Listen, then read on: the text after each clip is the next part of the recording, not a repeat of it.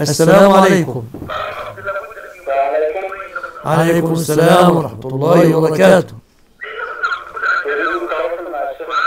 نعم معك لكن الصوت مشوش عندك. اقفل الأشياء اللي جنبك.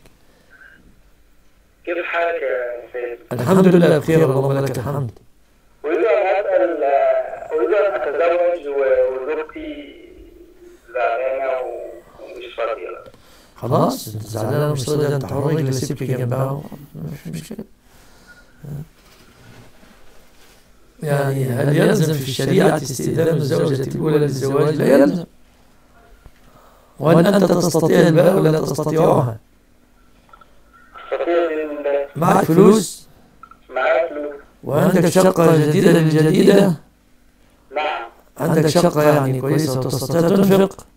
نعم تستطيع تعدل؟ نعم خلاص انت انت أمرك مباح لك. مباح لك ذلك عليكم